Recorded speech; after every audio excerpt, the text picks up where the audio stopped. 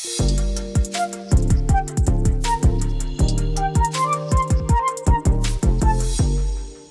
don't know if you've ever given up anything for anybody or for something. Uh, for instance, here's this guy who's a wrestler, but his forte is is toe wrestling. I don't know if you've ever heard of toe wrestling. I, re- I had to look this up. I'm like, how do you toe wrestle? Mm. And this guy is just like really good at it, and he and to have an edge to be the best in the world in the championship, he made sure he has no toenails, and so he had his toenails removed, which gives Harlan gag reflexes. So gross. he had them removed, and that gave him the competitive edge, and so he's the world champ of the world. And I looked it up. I'm like, what in the world is toe wrestling? What do you do? Is that like thumb wrestling? And that would be impossible. It's it's literally um, just like arm wrestling. And so you lock your toes with your opponent, and you have to go to the left or right. And so, it you just like arm wrestling, you pin the guy down, and then you win. Mhm. That's You- what you do with the toe wrestling. You have to lock toes with an opponent. Yes, Your feet have to touch yes, someone else's feet. they're clean. Are they? Oh, sure. They go through a whole thing Their of cleaning. Their toenail is Makes me think sure. about things that you give up for one reason or another. Like like Scott, you had to give up. Wait till you hear this. You, want me to say it? Yeah. All right. I used to go to the tanning bed. And it was a thing. This is years and years and years ago. Uh-huh. I wouldn't go a whole lot like every other day, but I did go for a little bit just to get a little color, a little coat on my skin. But I started doing it before I met my wife. And then after we were dating and got married, I still kept going a little bit. But she was really worried about, you know, the dangers to the skin and whatnot. And I understood that. And it was uncomfortable to her. And she said, I really wish you'd stop going to that. So I gave up the tanning bed. Gave up the tanning bed. I don't know why. I don't want to have the visual of Scott laying in a tanning bed with the little goggles over I his did. eyes. Yeah, I had the little goggles. Yeah, coming out, and then there's just you know white right around where the goggles are. just a little bit. Yeah, and then okay for Not a good visual image. No, it's not. Thank you. so, and then Harlan, check this out. Oh, Her husband gave this up, and this is huge. This is a huge thing to literally give up. yeah. He had a bike when we got married, like a motorcycle. Yeah, a nice motorcycle. Mhm. And the day that I got pregnant, I said, the motorcycle's gone. I can't, I can't be a widow mama. So He got rid of bike it. had to go. hmm Sold it, I would imagine. Yes, Yeah. he sold it. And I said, You, that's your money. Use the money however you want to. He bought some guitars and the pedals that go with the guitars and all Yeah, the musical oh, the things. guy's a great musician. but let me tell you. the the bike is gone because I couldn't I couldn't Mm-hmm. bear the thought of him riding it. And so Yeah, and look at the parallels here. Yeah. Scott gives up a tanning bed. Hey, health and safety, right? Right? He gives up motorcycles. I give up the tan, keeping us all together and healthy. You're listening to Rob and Liz in the morning. His radio. Talking about those things that you give up for others or for one reason or another. Luke is an intern, intern, intern here at his radio. Step up to the mic, Luke. So Luke gave up something. It was what? So it's 2020, it's election season, and I'm a young 18 year old stepping up to the world of politics for the first time. to vote.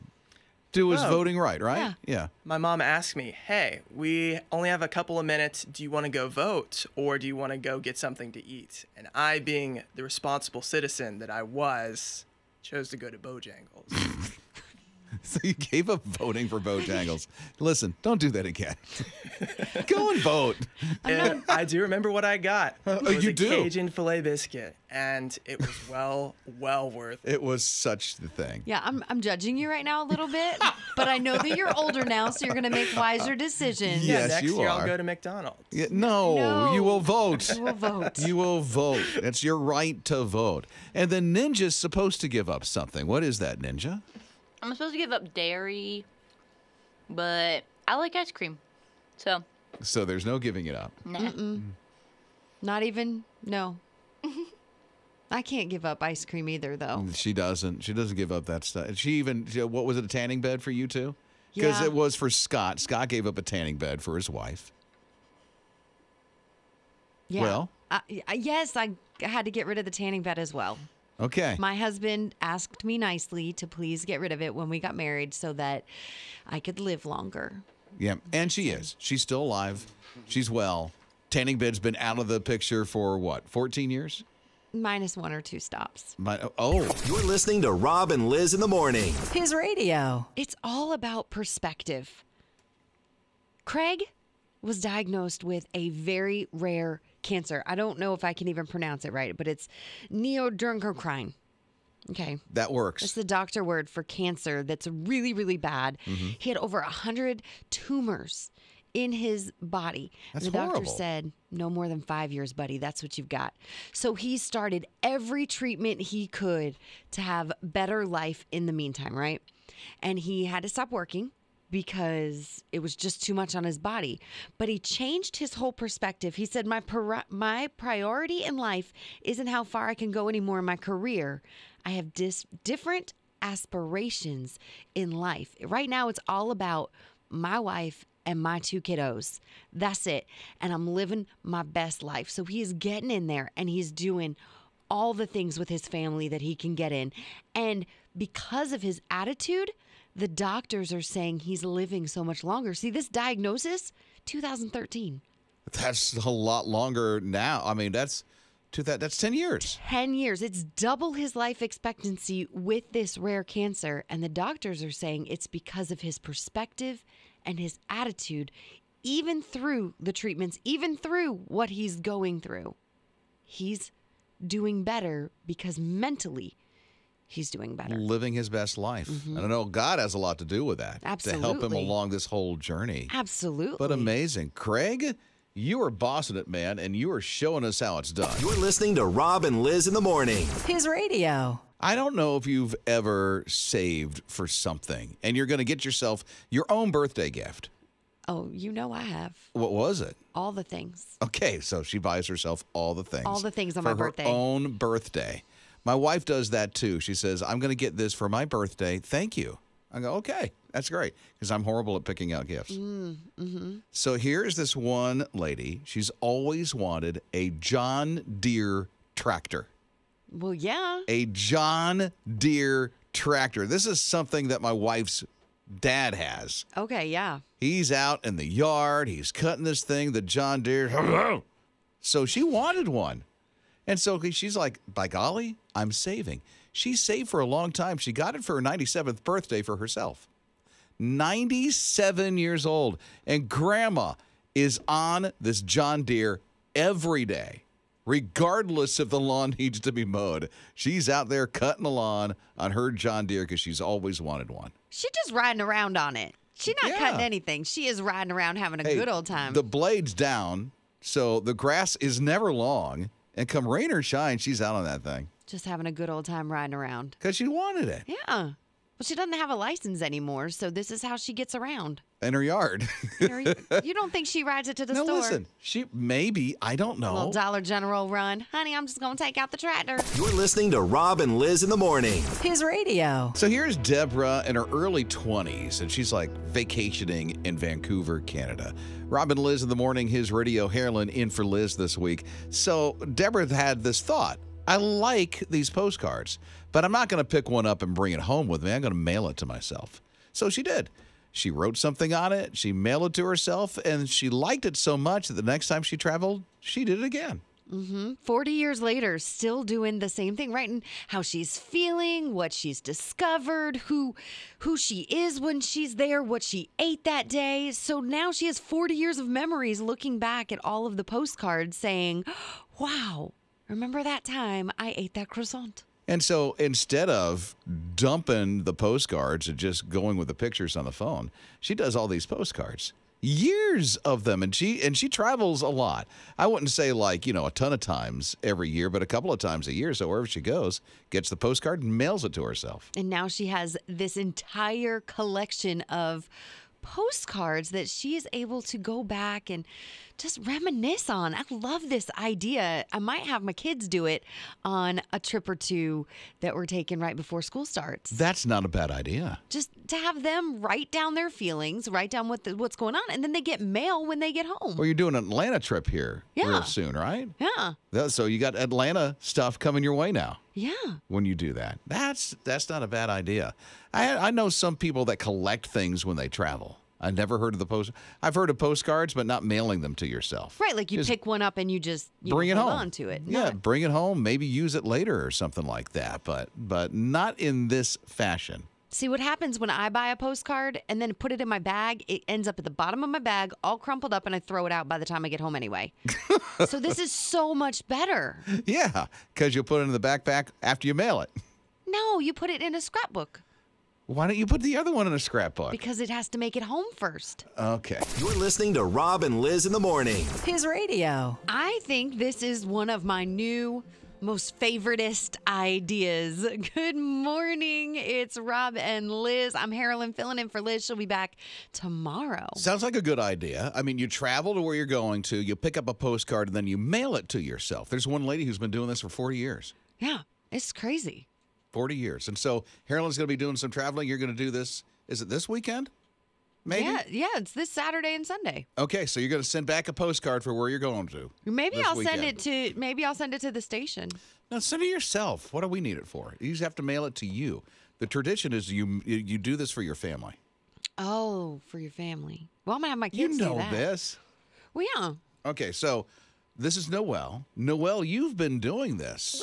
Started mailing ourselves postcards when our kids were little, when we would travel, because you know kids love getting mail, um, and it was a great way just to remember the trip.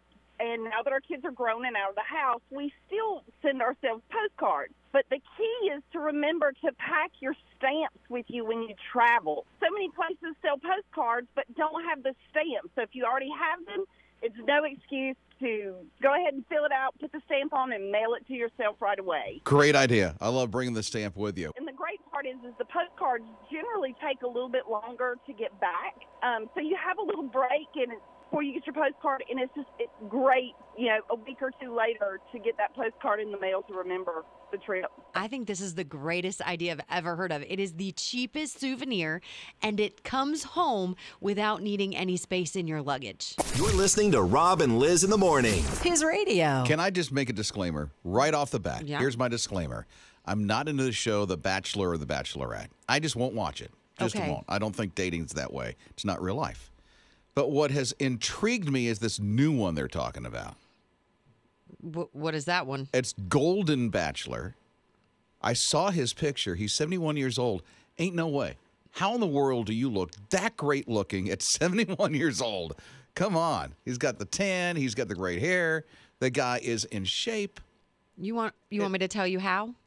Yeah, please enlighten me. A tanning bed, Okay. Botox, Oh, a little hair surgery, and um are these all guesses? no. Look at You no. know this? The man is orange. The man's orange.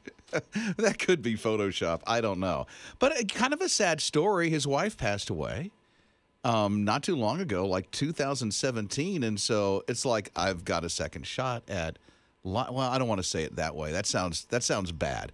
It's like, hey, I can I can have love again. And so I guess that's what this whole thing is all about. And he's looking for somebody who plays pickleball and golf. Pickleball has been a big thing. Yeah. I think those are some good qualities to look for, but I'm pretty sure you can find those same qualities at the county park. I don't know that you have to go on TV to find on a somebody who likes a reality little bit show of golf and like The some pickleball. Bachelor and The Bachelorette. Again, disclaimer, not a fan. I don't watch it. Right, but if you do watch it, this is coming up next, and we're going to see. I'm just nervous about the girls that the show is going to pick for him. Oh yeah, because history would show you that it'd be yeah, yeah. You're right. Are they going to be, you know, Mm-hmm. 71 and liking pickleball and golf, or are they going to be in their 30s? You mean acting thirty? Yeah. Okay, I get it. I get it. Yeah. So I guess we'll see other things that are much better to watch on TV than that. You're listening to Rob and Liz in the morning. His radio. Shaden, 11 years old, no friends, go into random people's houses in this neighborhood, just knocking on the door, asking for friends. Now, there's one door he came to, and he hit the doorbell. You know, the cameras that are in them now, and you mm-hmm. can respond, right? So the guy responds and starts to talk to him because this kid is just looking for someone close to his age to play with. Um, I just wanted to see if you if you knew any kids around like eleven or twelve, maybe, because I need I need I need some friends, like some really bad. Um, so the house to your right, there's two kids that live there. Okay, so the kid knows the kids that are next door to him. And it turns out they're not too nice. Here's how he goes on with the conversation. Well, um, they're not my friends anymore because um they're bullies to me. Oh, I'm sorry about that, man. They're bullies. Mm-hmm. So they don't treat him too well. And he's still looking for friends.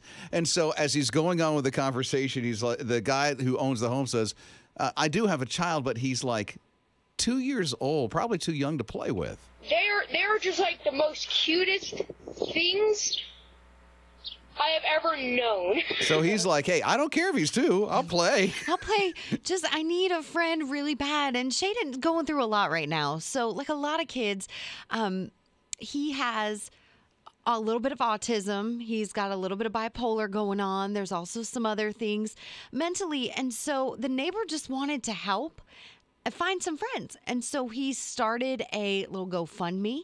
Help this kid out, get the things that he needed uh, to make some friends maybe some new clothes, maybe some uh, gaming devices, things like that, so that so that Shaden could have uh, a way to help himself communicate with other kids his age, and they were able to uh, find him some friends. Get out. Yeah. I love this guy. Just went the extra mile for Shaden. He did. I think you know, as his neighbor, he was like, "Oh, this kid really needs some help." I know my heart's breaking when I'm hearing him. So I just I just want some friends, please. He's just mm-hmm. talking to the doorbell, you Mom- know? Yeah, mama's so thankful because she's been trying to help him make friends, but there's only so much as a mama you can do to help your kids out, especially when they're going through things like this. It's it's hard when your kid is being bullied and Yeah. you just want to protect and love your kid. And all it took was one guy. Mm-hmm. One guy to reach out and help, and this kid's got a few extra friends now. Rob and Liz. His morning crew. School shopping, oh, it's so stressful. That sure is. And it's overwhelming. And if you have sensory issues already, it is over the top overwhelming to go back to school shopping with so many things going on in stores. And so Walmart is saying, "Mm, we're going to change that. We're going to make it okay for everyone. And so they've added some what they're calling sensory friendly hours Saturday Really? mornings. How in the world does that even work? So they're going to turn off the lights, they're going to dim them down, they are going to stop all the moving visual things around the stores, make them still images. Um, anything that's flashing, not going to be flashing anymore. No blue light specials. Remember those with the blue lights going Yeah, that around? was at the Kmart that no Yeah. longer exists. Okay, but no more. No more anything that could frighten someone. And they're asking people that shop during that time to be quiet. And so it's just going to be a more quiet, calm experience I like that. so that everyone feels comfortable going shopping shopping, carts where the wheels don't squeak, or you've got that one buggy wheel that goes back and forth. That's all going to be fixed. Well, that is that is the hope. is that that That's wheel one- is going to be That's fixed. what one would hope. They're going to do what they can. It's a good idea that they're doing something like this. Kind of a chilled, dimmed down, calm atmosphere, which Mm-hmm. is good to the best of their ability. I'm sure there's going to be some things, but still, Well, and it's a good idea. There may be some people who are overstimulated still and they might cry out or make a noise. So it may not be 100% quiet, but it is going to be uh, the more sensory friendly time in which you can hope for a quieter atmosphere. And I can see other places starting to do something like this. So they're just kind of leading the charge. I hope so.